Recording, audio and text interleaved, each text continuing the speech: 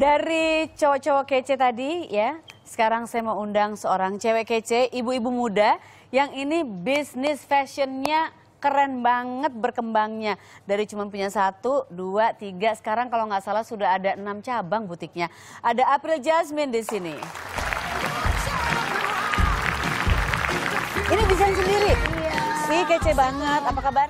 Mwah, sehat? Baik, baik, sehat. Sehat? dong. Sehat alhamdulillah. Cantik banget ibu-ibu muda ini. Silakan duduk. Terima kasih. Ini desain sendiri. Iya, betul. Jadi semua yang ada di butik itu desain sendiri. Iya. Oh ya? Keren banget. Jadi setiap hari selain Setiap hari, juga uh-uh. sibuk gambar atau apa atau diskus sama ininya gimana sih proses kreatifnya tuh? Biasanya Untuk butik? prosesnya itu kalau eh, ide itu kan kadang-kadang datang terus udah gitu kalau nggak di eh, Nggak langsung nggak diiniin? langsung dipindahin ke kertas gitu Iya, iya. biasanya lupa. Ha-ha. Jadi kalau lagi ada ide ya udah itu bisa eh, satu sampai tiga baju misalkan udah udah stop dulu nih. Terus nanti aku konsultasi nih sama si tukang cuttingnya gitu. Ha-ha. Nanti tolong dibuatin baju seperti ini ini dia udah ngerti dia bikin sampel lah. Dia bikin sampel kurang lebih eh, dua hari nanti diantar ke aku yang seperti ini enggak. Nah itu biasanya juga aku cobain dulu. Iya. Cobain deh, enak kayak di mana kurangnya, terus Ha-ha, eh, ha-ha. apa yang harus diperbaiki lagi, nanti dibalikin ke dia. Kalau sudah oke baru kita jalan produksi. Oh gitu, jadi nyoba sendiri juga, nggak cuma sekedar sendiri oke dulu. bagus langsung bagus ini. Ya karena penting juga ya, memang harus nyaman juga harus ya. nyaman. Jadi benar nggak tadi aku bilang sekarang sudah ada enam cabangnya bu- butiknya namanya April Jasmine. April Jasmine Boutique ya sudah ada 6 insya Allah nanti next eh, bulan awal bulan Februari kita akan buka di Aceh. Wow, keren banget. Yang enam itu di Jakarta, masih di Jakarta semua atau Enggak, tersebar? em, ada satu di Palembang, satu Aha, lagi di oh. Balikpapan, sisanya di Jakarta dan sekitarnya. Nah itu ngurusin semua butik-butik itu gimana? Jadi harus sering traveling ke tempat-tempat tersebut dong? Iya harus sering sebenarnya datengin? awalnya kan aku buka di Tamrin City dan itu itu punya aku sendiri. Terus banyak orang yang tanya gimana dong, aku pengen buka juga nih di Pengen. daerah aku Oh, gitu. oke. Jadi aku juga aku bilang tunggu ya nanti berjalan ini dua tahun baru aku maksudnya aku mau membaca dulu uh, proses bisnis butik ini seperti apa. Nanti kalau udah uh, aku udah paham, baru nanti aku buka istilahnya kemitraan lah kerja sama dengan Oke, orang lain. ha, ha, ha. Dan sudah berjalan dua tahun, alhamdulillah. Terus eh, aku hubungi lagi yang waktu itu mau membuka di luar kota. Iya boleh mau buka di mana daerah sini-sini dan aku belajar lah dari situ dari satu cabang pelajari dulu apa kurangnya apa yang harus diperbaiki dari manajemen butik aku dan itu berjalan dengan sendirinya jadi learning by doing terus sampai sekarang.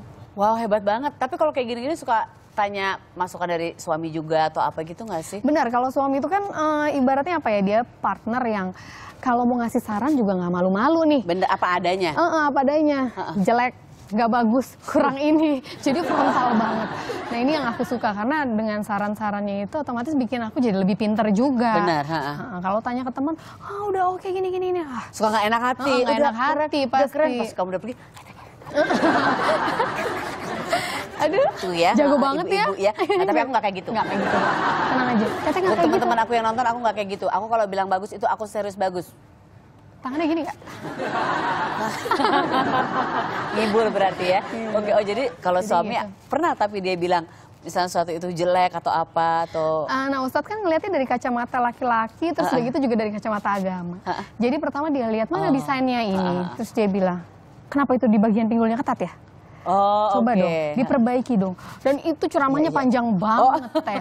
Itu Dari bagian pinggul, uh, Iya, bisa. kayaknya aku nanya cuma dikit doang gitu ya. Sehetik ini tiba-tiba panjang kali lebar tiba-tiba bilang, "Kenapa itu begitu ya? Coba dong. Kalau kamu mau jadi pionir, kalau kamu harus ini, Oh, kamu oke, harus oke, memperbaiki ini harus bagus karena nanti orang bakalan pakai." Oke, udah ngerti kok. Iya, tapi jangan diulangi ya. Panjang. Oh panjang. Sampai ditinggal. Oke, assalamualaikum permisi Iya, dulu ya, Pak. Pak. Tapi nggak apa-apa. Jadi lebih pinter kan, Iya, bener lebih banget. pinter kan. Jadi dari situ makin belajar lagi dan alhamdulillah, alhamdulillah eh, orang semakin banyak yang aku mau bekerja sama dong, aku mau dong di mana cara belinya gitu. Jadi ini yang sedang aku kembangkan. Kalau misalnya diminta untuk mendeskripsikan, biasanya kan kalau desainer itu kan suka ditanya gitu, sebetulnya line eh, koleksi kamu tuh kayak apa sih? Misalnya clean cut atau classic atau apa gitu. Nah kalau misalnya desain-desainmu itu dideskripsikan seperti apa? Apa ya kalau dilihat ini, em, aku sih sebenarnya kan aku mendesain seperti apa yang aku butuhkan. Ya. Jadi kalau aku em, aku butuh casual, tapi casualnya aku ya yang kayak gini aku pakai sekarang, tetap bercelana, tapi kalau dilihat juga eh, casual tapi rapi tapi tetap kelihatan apa ya Iya. girlinya dapet juga Bener-bener, gitu. iya girlinya. Ha-ha. Terus udah gitu juga kalau mau ke pengajian otomatis dandanannya juga beda lagi. Kita biasanya pakai gamis gitu kan. Ha-ha, ya, ya. Ibu-ibu pengajian. Terus eh, ya jadi itu kalau dibilang apa temanya apa ya mungkin agak ke girly juga gitu. Oh ya girly, dari kecil memang udah selalu itu ya? Selalu girly gitu? Heeh. Dan dari kecil iya? Udah centil Eh, udah centil? Oh udah, udah seneng apa namanya? eh, dandan-dandanan. eksperimen Oh ya? seneng banget iya Per- jadi pertama kali kayak mulai pilih baju untuk pergi gitu umur berapa? Uh, waktu itu kapan ya yang yang aku paling ingat itu uh, oh dulu tuh aku gendut banget jadi kan SMP tuh gendut banget Aku sekarang masih gendut. Sekarang enggak udah langsung gini ya Kamu dulu, aku sekarang. jadi dulu tuh sampai uh, apa ya kalau kalau dibilang jeans itu anak SMP paling nomornya berapa ya 26 27 Iya, aku udah 31 32 jadi gede banget ah, ah, besar ya, Gede sudah cukup besar. Terus uh, udah gitu agak-agak minder kan karena temen yang lain kecil-kecil. Ah, ah, ah. Jadi minder, nggak berani dandan juga. Terus Oh. Setelah SMA udah mulai hmm, kayaknya harus berubah nih udah mulai diet, udah melangsungkan diri dari situ udah mulai mau dandan. Oh, tunggu dulu, aku penasaran dari ukuran jeans 31 itu kan untuk eh, umur segitu kan lumayan besar Gede tuh ya. Gede banget gitu ya. Eh, itu diet olahraga bener-bener diet tuh dalam arti nahan makan atau apa gitu? Ah, atau nahan ngapain? makan banget, jadi bener-bener Oh. yang eh, nasi bikin gendut nggak mau makan nasi. Terus tiap hari makannya cuma bayam sama pepaya, bayam sampai Berarti pusing-pusing ini cuma gede ditahan. dong kayak Popeye makan bayam terus gede di sini. Iya, tapi alhamdulillah makin turun makin turun dan sampai sekarang alhamdulillah waktu itu sampai eh, jeans aku 25. Hah, kecil Akhirnya yang paling kecil banget. Ah, ah. Yang paling kecil banget. Tapi kan seneng artinya udah eh, dengan kerja keras kayak gitu. Bener. Yes. Iya iya iya. Juga. Akhirnya langsung mulai berani dandan. Mulai. Nah, waktu itu stylenya agak-agak eh, ke arah Korea karena film Korea lagi banyak. Oh, itu oke. kan. Jadi ngikutin gaya-gaya Korea gitu. Oh. Dulu kan belum pakai jilbab. Oke oke. Ara- Kayak gimana sih kayak Korea itu? Em, apa ya? Dia kan stylenya yang Warnanya bright crop-crop gitu ya kalau terus oh, iya, warnanya iya. oh, warna-warna bright gitu, terus yang eh, bandana di sini bungaan gede-gede. Oh, sempet gitu juga ya? Sempet kayak gitu sampai akhirnya eh, memutuskan untuk pakai jilbab. Ah, ah.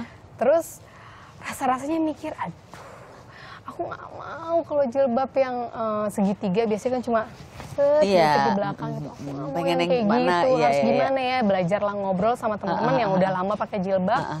Terus aku bilang, aku mau sekeren kamu, gimana caranya? Jadi bener-bener nanyanya gitu. Ah, ah. Aku mau sekeren kamu, gimana caranya? Eh, ya udah nggak apa-apa kamu cobain aja dulu Ah, ah, nanti ah, kamu kamu tahu nanti style kamu ke mana arahnya Tapi sekarang teman yang kamu tanyain itu sekarang dia belanja di butik kamu nggak? iya Iya iya keren juga, banget. Berarti canggih dong. Nah sekarang setelah kamu menjadi expert, ya bisa dibilang expert lah ya, atau banyak orang yang mungkin nanya ke kamu tips dan lain sebagainya karena sudah punya butik.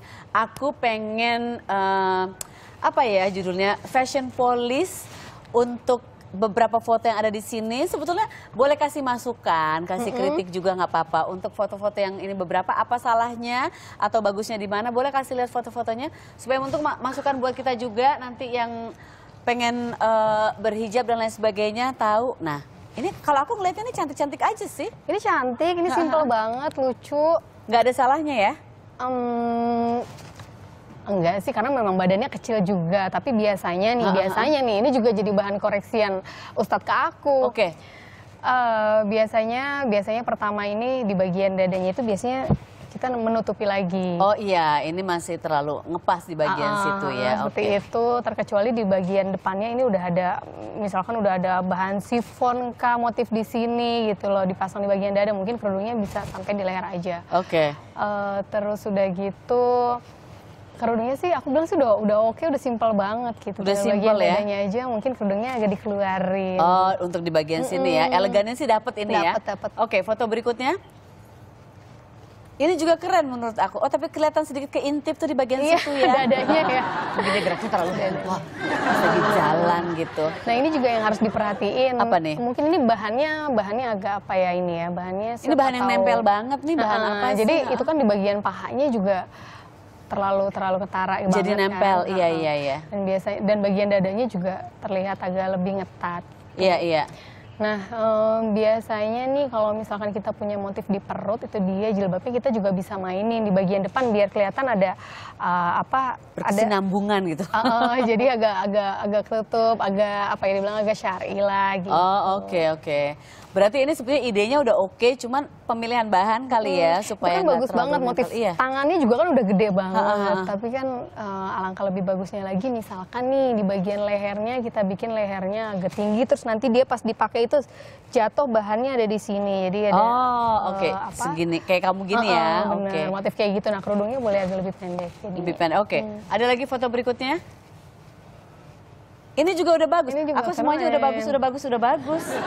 Sebenarnya semua udah keren sih, Udah cuma tadi keren, agak ha-ha. agak mm, kasih saran dikit aja yang Iya, masih, masih iya. kebuka gitu. Ini sih udah keren banget. Uh-huh. udah Cuman ini keren. mungkin apa di bagian dressnya rada ini clingy juga ya, ngepas juga enggak? Iya, ini sih agak ngepas, tapi kan badannya kecil. Sebenarnya Iya. kan kita menyesuaikan, jangan sampai kalau misalkan hmm, aku ada pager di sini terus ditunjukin kan, Iya iya. nanti Ada dicuri. nyebutnya ada ada muffin top. Kalau kita beli muffin kan ya, ini tepatnya begini ada yang ngomong sedikit. Itu namanya muffin top Nah, ya. Kalau ini kan badannya emang, aduh, langsing Uh-uh. banget Ini badan banget. semprong. Kalau badan semprong nggak apa-apa yang Pakai ada apa aja oke kalau badan ini semprong. aku suka banget. April terima kasih sudah hadir di sini ngasih Sama-sama, masukan-masukan buat kita. Salam buat suami ya, kapan-kapan Iya. main ke sini bareng ya buat Ustadz Ini ya. buat aku. Buat kamu. Ih, Ya, oke jangan- banget bibirnya. Iya, bibirnya itu jangan jadi penghalang itu ya dengan suami Iya, ya, jadi buat ini di mobil aja. Ustadz di sini, aku di sini. Iya. Jangan sampai ini di tengah ya. Jangan sampai di tengah. Thank you so much ya. Sehat terus ya. Sukses untuk iya, bisnisnya. iya, iya, terima kasih. Muah, muah. Masih ada tamuku, ada Iwaka. Yo, yo, jangan ke mana-mana. Wiki, wiki. Tetap di sini.